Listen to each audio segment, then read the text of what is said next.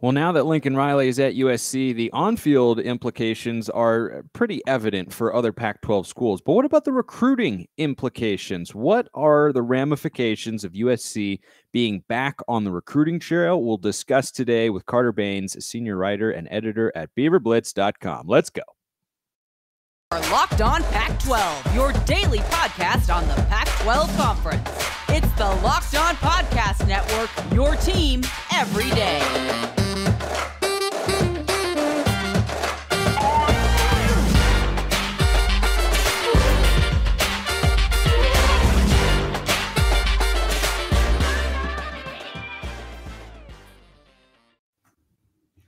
Welcome, everybody, to another episode of Locked On Pac 12. I'm your host, Spencer McLaughlin, D1 play by play broadcaster. Thanks for making this your first listen or, or your first view of the day, part of the Locked On Podcast Network, your number one source to stay up to date with the Conference of Champions. Like, comment, subscribe wherever you're listening to or watching the show. I appreciate the hundreds of you out there who have already done so. Our YouTube numbers continue to look great, they keep going up. I appreciate all of you making that happen. And uh, fittingly, I happen to be wearing an Avengers t shirt today, and that's uh, appropriate because we're doing a little team up here on Locked On Pac 12. I'm not alone. For those of you watching on YouTube, Carter Bahns is his name, senior writer and editor at beaverblitz.com. I'm sure he's still uh, mourning the unfortunate end of the Oregon State baseball season, which uh, came to a close in the Super Regional against Auburn. But they just eliminated Stanford. So uh, there's clearly a worse team that you could have lost to there, Carter.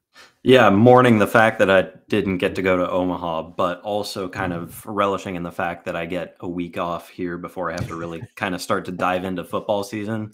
Um, you know, I put together a content schedule yesterday and was like, all right, here we go. This is this we're you know we're gearing up for the long haul here. But um, yeah, no, this this week has been nice. Just a little relaxation. Um, you know, don't really need to think about baseball, football, nothing yet. Um, just kind of kind of living in the moment for a few days, which is something that I haven't gotten a chance to do for quite a while.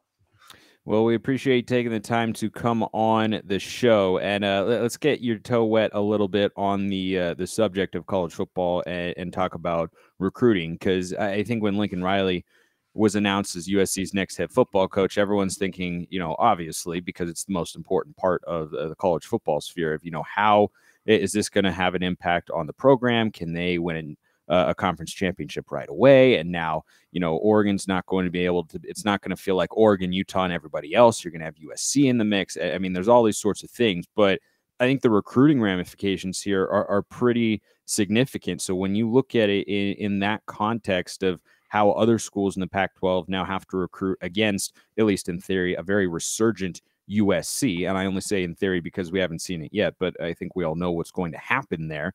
Uh, how do you think about? You know how other schools now have to recruit with USC, certainly uh, you know capable of bringing in high caliber recruits, and they've already done so and will continue to do so in the class of 2023. Yeah, I mean we've talked about it before. You know it's going to take a couple of years for USC to fully be back, you know, quote unquote back um, you know, to to the potential powerhouse that it could very well be.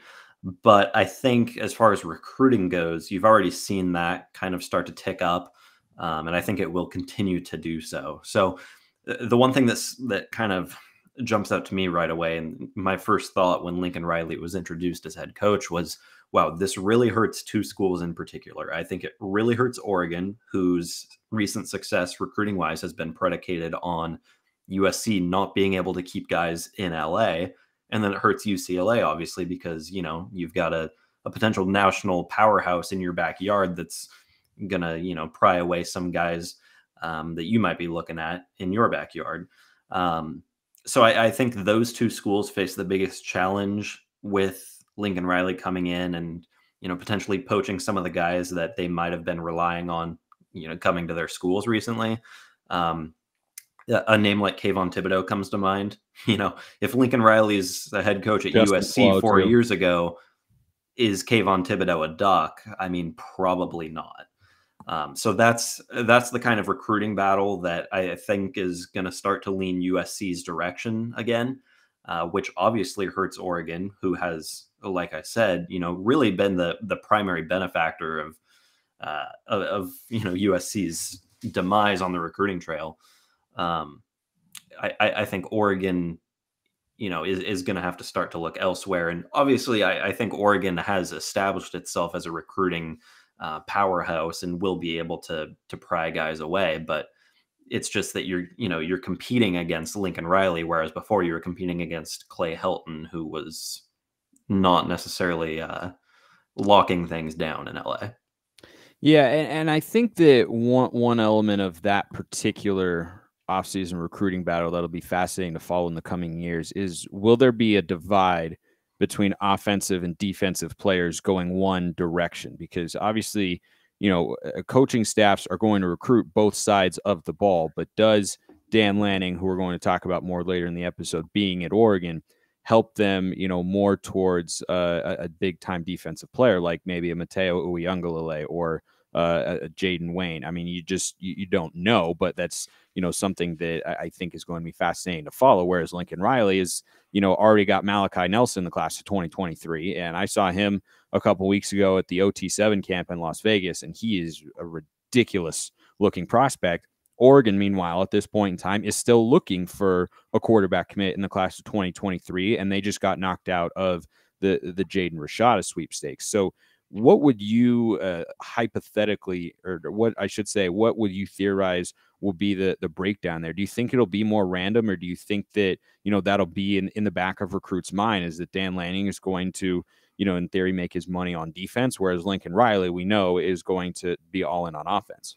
Yeah, that, I mean that could very well kind of rear its head a little bit. Um, I think you know you, you, look at the guys who USC has brought in transfer portal and and the early the early recruiting returns uh, from the the prep ranks from Lincoln Riley, and a lot of those flashy names are on the offensive side of the ball.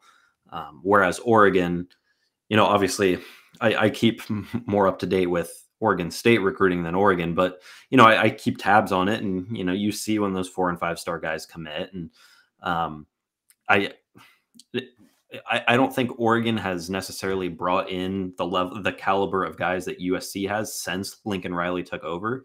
Um, I'm just curious if you know, to your point, they're able to pry away a defensive guy here and there because you've got one of the best defensive coordinators in the in the country as your head coach now. So um, obviously, you know, there's a there's a track record of success, a track record of getting guys to the NFL. I mean, look at Georgia's defense. Like, you know, that's the entire first round of the NFL draft right there. So, um, yeah, there's I, I think there's a draw there for sure for defensive guys. It's just, you know, does the draw of playing at USC outweigh the benefits of playing for a Dan Lanning type?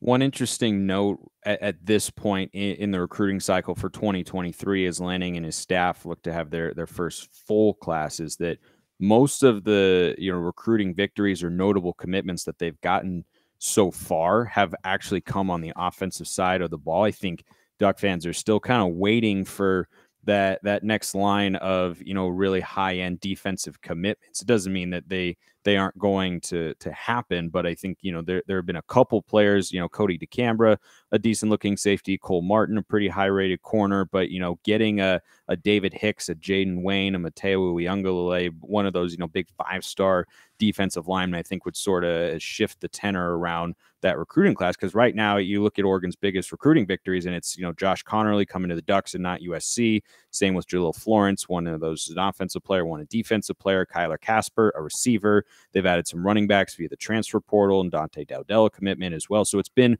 very offensively based, and I wonder if that will continue to to be the way that the recruiting commitments come in for Oregon in the coming years and if it continues to be that offensive heavy. I want to ask you about the team that you know the best Carter and that is of course Oregon State. But first I want to tell you that you know how our friends at Built are always coming out with amazing new flavors. Well, they've really outdone themselves with their new mud pie flavor and for the first time ever they're introducing the new mud pie mud pie flavor in both a mud pie bar and a mud pie puff. I've had both of them. They are out of this world even better than mint brownie, which all of or some of you may know is uh, my favorite flavor of all of them. 150 calories, eight grams of sugar, packed with 16 grams of protein, and it's wrapped up with a bunch of delicious flavors just for you. Go to built.com, use promo code LOCK15, get 15% off your order. That's promo code LOCK15 for 15% off at built.com. So let's shift gears a little bit to the program in Oregon that does uh, not historically recruit against the sort of players that USC is uh, going to go after, and that's Oregon State. What, what's kind of the latest on the recruiting trail w- with the Beavs, Carter, both in 2022 and kind of you know the the early stages, which is where we are with the class of 2023. Well, I think one of the big things you just mentioned there is, yeah, Oregon State does not typically get into recruiting battles with USC. So I think that's one of the schools that might not necessarily feel the, you know, the pain of Lincoln Riley coming in and stealing some of your, you know, your potential talent. Oregon State's more recruiting against the Utahs, the ASUs, uh, the Washingtons, you know, those those types of programs. Um, and so far in 2022 and 23 uh, as we get into the fourth, fifth, and even sixth recruiting classes under Jonathan Smith, which is a little hard to imagine. It's a little hard to believe at this point. Like Jonathan Smith has been here for half a decade. Time flies. Um, yeah, time time seriously flies. But no, the the recruiting is certainly up. It has has made an uptick in the last year or two, and I, I think you're starting to see that on the 2023 side. Um, I'll touch on some 22 commits and enrollees here in just a second, but I think the big name uh, that Oregon State fans are over the moon about right now is quarterback Aidan Chiles, who just committed about two weeks ago on his official visit to Oregon State. Uh, this is a quarterback who had a ton of Power Five offers, some Pac 12 offers. Um, he had just taken a visit to Washington State.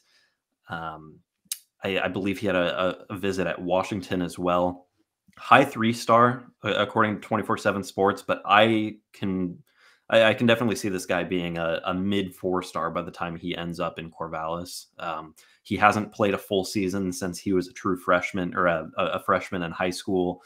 Um, you know, he's he's done nothing but but stand out. It's just that he hasn't really had the opportunities to do so. I think the sky's the limit for him. He's a dual threat guy, and um, everything that I've heard from our recruiting experts, everything I've seen from you know his film and everything tells me that Oregon State might have found its quarterback of the future uh, coming in next year as part of the 2023 class. So um, that's a name to keep an eye on way down the line. But um, it, in the near future, some of the 2022 guys that just arrived on campus this week, move in day was a couple of days ago.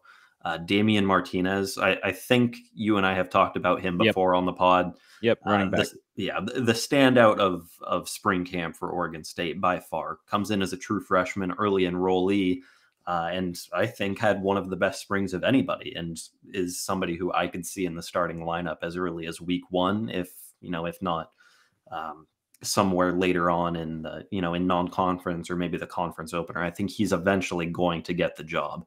Um, that's just how good he is this early in his career. Um, reminds me a lot of Jermar Jefferson. I, I, think his ability to come in right away and contribute.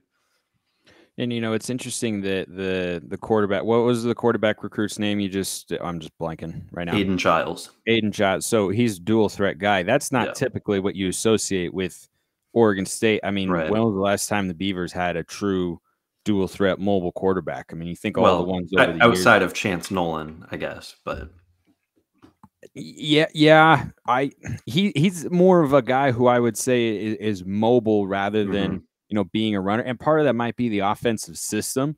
Uh, he's probably one of the more athletic ones, but you go back to you know the the Sean Mannion's or or Canfields, or it's just been kind of a consistent trend. So I wonder if Smith wants to do anything differently offensively by the time he he he has him in in Corvallis as his quarterback and thinks, you know, well maybe this opens up this opportunity that he didn't have before. But he also make a good point that Chance Nolan is a is a decent athlete. But uh, let, us uh, switch gears and talk about some recent coaching hires because I've been evaluating these guys and you know the the way that they were brought in or you know kind of how it how it felt when they came in looking at you know a variety of different areas and and kind of grading the hires that themselves I want your take on on Oregon's hire uh, of Dan Lanning when he was announced as Oregon's next head coach. What was your reaction, and, and kind of how do you assess, you know, where he could potentially steer the program?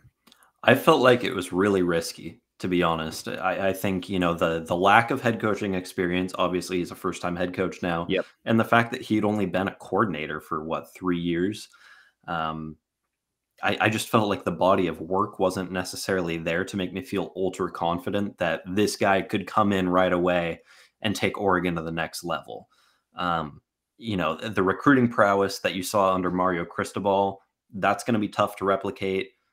But I think what he brings to the mix is like just better X's and O's coaching all around. And, and I think that's what Oregon needs. Um, obviously, the talent is there. The talent has been there. I, I, don't think there's a team west of Texas that has as much talent as Oregon right now. Um, the problem is, I, I, don't think Oregon's had the coaching staff to make great use of it for a long time. Um, I, I think that has been Oregon's downfall recently is an inability to develop the guys that they bring in. And I mean, look no further than Justin Herbert, a guy who I, I think underperformed his potential at, at Oregon just because the still had still had a great career, but True. now that we see what he has become in the NFL, it's yeah. unquestionable that you look back and go, all right, something was left on the table here. Here's a great stat for you, Carter, on, on that note, and I'll let you get back to your, your point. As a senior, not as a junior, not a freshman, as a senior, Justin Herbert threw a screen pass on almost 24% of his pass attempts. He was yeah. throwing the ball at or behind the line of scrimmage almost one out of every four attempts, and he's got maybe the easiest, biggest arm in the NFL. That's not uh, that's not Josh Allen. I think Allen's got a bigger one, but I think Herbert flicks the ball downfield with power easier than even Mahomes. And to that end, there was a there was a point late in the season, if not at season's end, where Jake Luton at Oregon State had a better QB rating than Justin Herbert. And mm-hmm. I mean, I don't think any of us are going to sit here and say Jake Luton's the better quarterback. So clearly, no.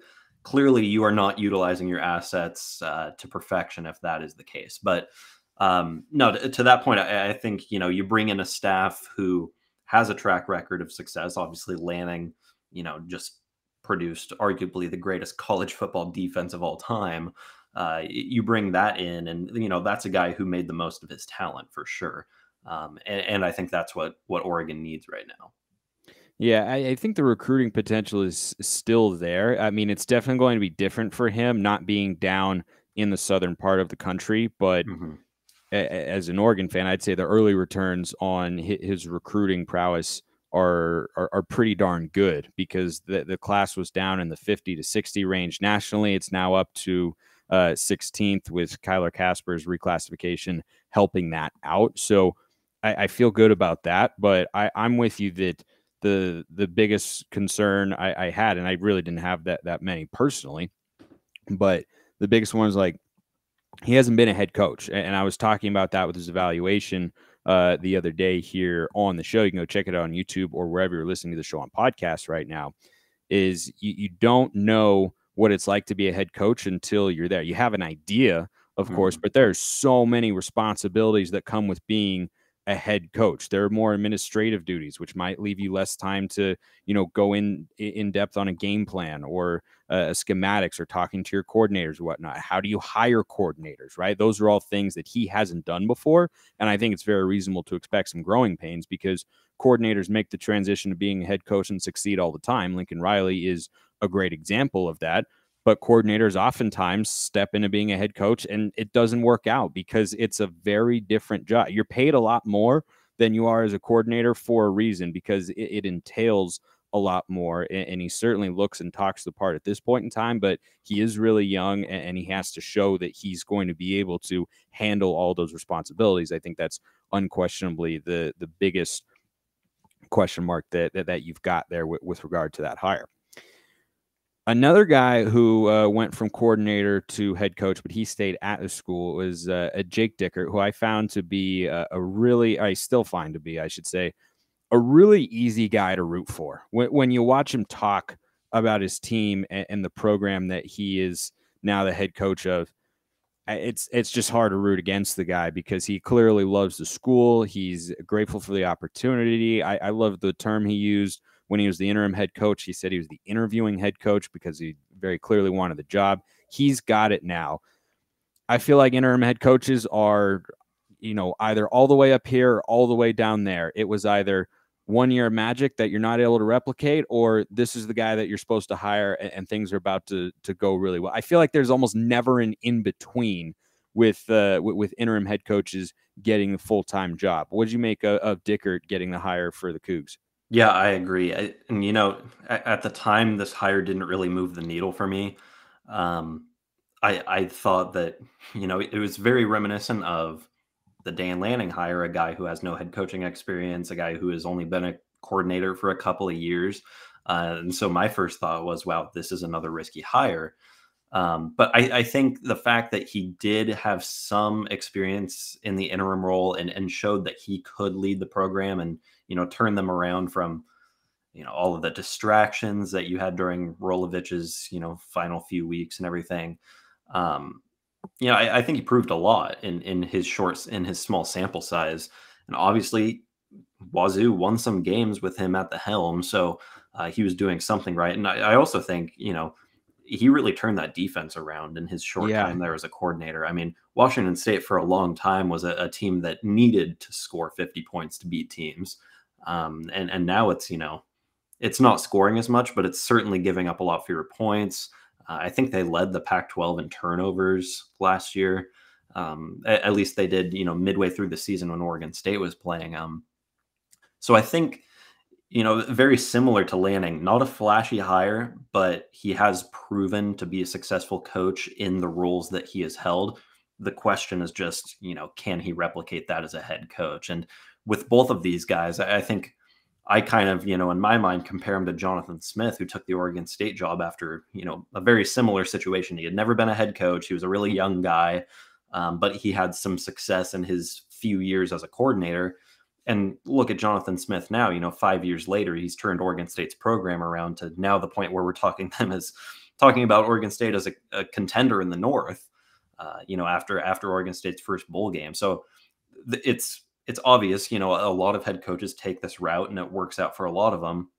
I think it's finally starting to work out for for Jonathan Smith at Oregon State after he got a few years under his belt. And so, you know, maybe it takes a few years for Jake Dickert and Dan Lanning to to really make their footprint um, to to take their programs to the level that they want to get to. But you know, both of them do have success in in their coaching history, and I think you know could very well do what Jonathan Smith has done, and and probably you know to a to a grander scale, obviously at Oregon and um, at Washington State. I, I think you could see them return to you know their Pac-12 North prominence that they experienced for a few years there.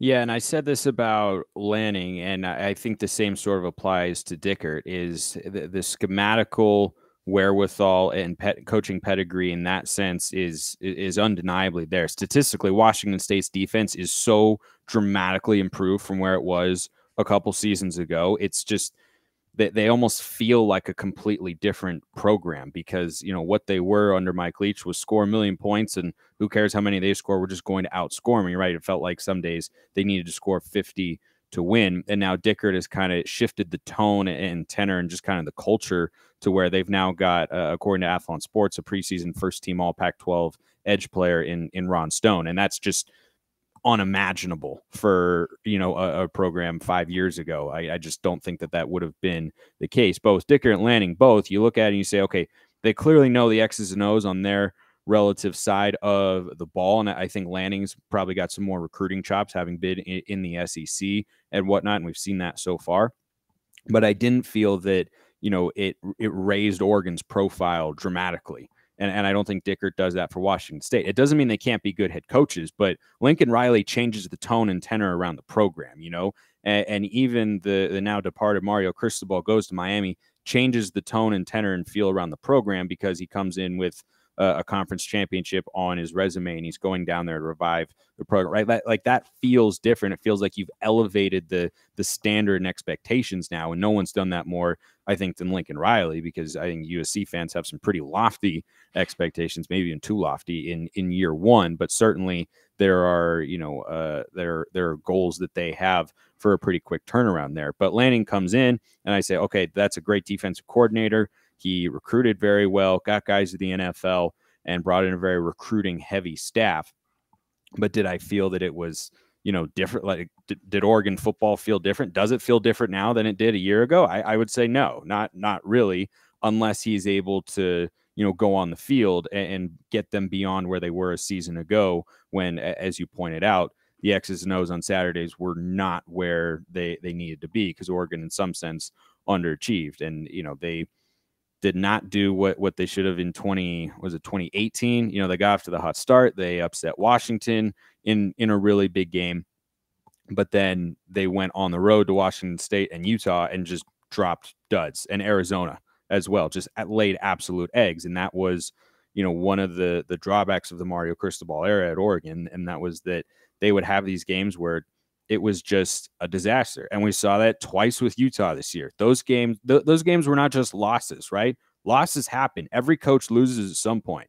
They lost without being competitive. I mean, it was 30 to nothing and 28 to 3. I mean, it was just absolutely awful. So I think that's where Lanning has the opportunity to, you know, prove that he's able to elevate uh, a program beyond what it was before. But, you know, when the hire came in, I was like, well, that's about the sort of the, the sort of coach that I would expect Oregon to to be able to to hire there. But uh, last thing that that we're getting to today with Carter Bain, senior writer and editor at BeaverBlitz.com. The non-conference schedule this year for the Pac-12 has got some pretty juicy contests, and I, I've gone in on uh, I've talked about extensively here on the show in past episodes. That was a struggle uh, about you know some of the biggest games and, and, what the biggest opportunities are, and there are a lot of them out there. But I'm curious as to your thoughts as you look at the non-conference slate, which is less than 100 days away, and what kind of the the biggest and maybe most realistic opportunities are for the Pac-12 to you know kind of raise its profile and help to reestablish itself as a respectable Power Five conference because right now it's a laughing stock. Well, the week one slate really stands out to me. And obviously, you know, it gets started with probably the biggest game of the year for the conference in Oregon at Georgia. Um, that game's being played in Atlanta. So I, is it technically a neutral site game? It's listed as that, but sure, like, yeah. Obviously, on. no. I mean, that's that's a home come game on. for Georgia. Yeah, that's going to be um, 80, That's going to be 80 20 if Oregon's lucky. Yeah, yeah. Which means you're going to have about sixty five thousand Georgia fans there. Um, yeah, no, I mean, obviously, I, I, think you know you look down the line, and that stands out as the biggest game for the conference. You've got, I, I think, probably you know the the first or second best team in the conference in Oregon going up against the reigning national, you know, reigning national champions. Uh, obviously, there's the storyline of of Dan Lanning coming over from Georgia. Um, it's you know, it's what what kickoff classic is that? Is it the Chick Fil A right. kickoff? Yep. Right. So you know, it's it's going to be on ABC. It's going to be a huge game. You know, game day might be outside Mercedes Benz Stadium. Who knows? Probably. Um, that game is is pretty hard to top. But then later that afternoon, you get Utah at Florida, which is another yeah.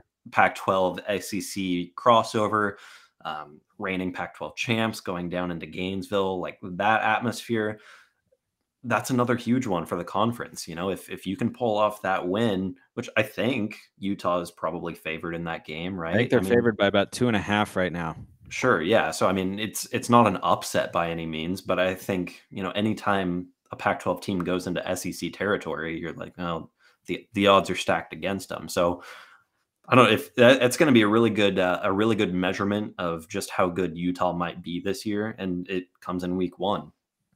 The other week one game that I look at is it's not as flashy, but Oregon State against Boise State, I think that's big for the Beavers. You know, that could very well be the difference between a six and six, seven and five type situation. I mean, who knows? It could be the difference between a bowl game or not. Um, and it's you know Boise State is is a program I think on the rise right now. They they had a down year last year, but I think their trajectory looks up. Um, and and so obviously you know the Pac-12 struggled against the Mountain West last year, and so that's a a big opportunity to go up against one of their best teams right away and say no, we're not going to let you guys walk all over us like we did last year.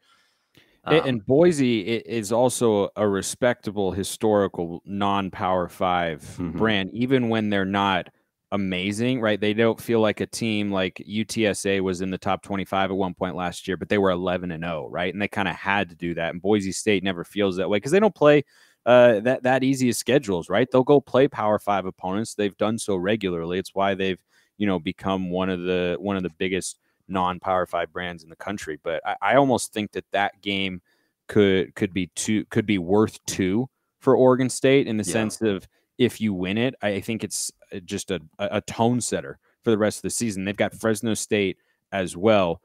You'd be hard pressed to win both of those games, but the Bulldogs have a new coaching staff since Kalen DeBoer's up at Washington now. I mean, if, if, Oregon State, they've got an FCS opponent too. I think it's Montana State. Montana State, yeah, who was just in the FCS national championship game. So don't sleep on uh, don't sleep on the Bobcats there. But if Oregon State starts three and zero, oh, I mean, how would they not be in the top twenty five? Yeah, I mean, as, as far as like non-conference games against non-power five schools go, I don't think you could get a tougher draw than that. A, a, Boise State team who is obviously one of the best teams in the Mountain West year in and year out. Fresno State's been right up there, and I, I think Jeff Tedford coming back is, you know, that that op- opens up all sorts of opportunities for their offense, especially with Jake Haener there. Um, and then, as you said, Montana State was just in the FCS national championship. So, probably just about the toughest FCS opponent you could schedule. Um, that is a, a brutal non power five slate for Oregon State. And I think if you go 3 and 0 there, uh, you got to feel pretty good if you're a Beaver fan. But um, as far as you know, later later down the uh, the non conference slate, three California schools against Notre Dame. I think yeah. each one of those is pretty big for the Pac 12, especially a November 26th game between USC and Notre Dame. Oh, that oh, gosh, you and I so you and I were just talking about that. That could be the game of the week in college football on rivalry week if both those teams live up to expectations. That that could be the biggest Pac-12 football game. I mean, obviously it's not a, an interconference game, but that could be the biggest football game involving a Pac-12 team since Oregon was in the national championship in 2015 and you know the Rose Bowl the a couple weeks before that obviously. But if you're talking about regular season gosh you'd have to you'd have to go way back. And again it's not a guarantee right? If USC goes into it you know and they're 8 and 3 trying to get to 9 wins in the regular season that'll give it it'll still be big but it'll give it a different feel or if Notre Dame goes into it with only 7 or 8 wins but if you've got 18, 19, or 20 combined wins between those two teams going into that game, boy, that uh, that'd be a hot that'd be a hot ticket down down to the Coliseum. Carter Bahns is his name. Talking Pac-12 is his game, and he will continue to come back on the show whether I make corny rhymes about him or not. Thanks for coming on, Carter. Thanks, Spencer. Always a blast. Thanks everybody for listening. See you next time, and have a wonderful rest of your day.